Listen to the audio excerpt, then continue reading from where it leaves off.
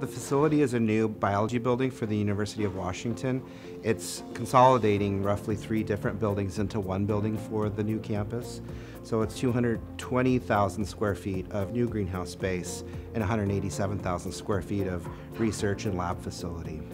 Early on in the project, we were faced with some of the early coordination challenges. So, where the major equipment went, where major uh, pathways for utilities had gone. So, that's what was key for that early BIM and VDC use. Um, as far as the building, the early challenges were um, we were 13 feet over height with the structure, so the design team was able to shrink the building by 13 feet. But by doing that, we had to shrink all the ceiling spaces and especially the plenum spaces.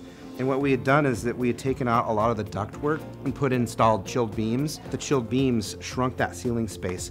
But with that, you have other utilities in the ceiling that we also needed to coordinate and figure out how those went. So some of the spaces, the design team, they didn't want to shrink it and they wanted that extra height. So we used that early BIM coordination to figure out what those spaces were because we shrunk the building on all the floors, it's very highly condensed with lots of mechanical and electrical systems. You've got uh, the chilled beams that are in there, the um, exhaust systems that are in there as well. And the systems just are, had to be zoned initially so that we can understand who was going to go where so that they could coordinate that all you know up front so we had schedule certainty and cost certainty through the project.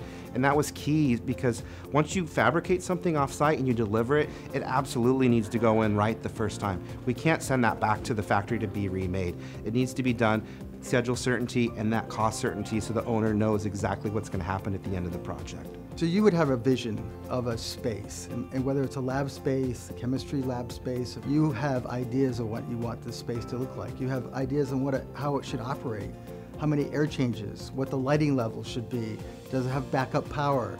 How do you want this lab space or this manufacturing space to operate? And so what we want to do is we want to, uh, from the Center of Excellence, is really challenge those ideas and make sure that we ask those questions up front of of how do you want this to operate? And then we can take that through the designers, through the architects and engineers, and transform that into a, a, a visual model that you can see so that that is your vision before it gets built. To make a change from, a, from the design standpoint and the visual model, it doesn't cost anything. So it, it's going to help you with cost certainty and schedule certainty at the end of the day, and it's going to give you your vision from day one so when you move in, it'll look just like what the model showed at the end of the day.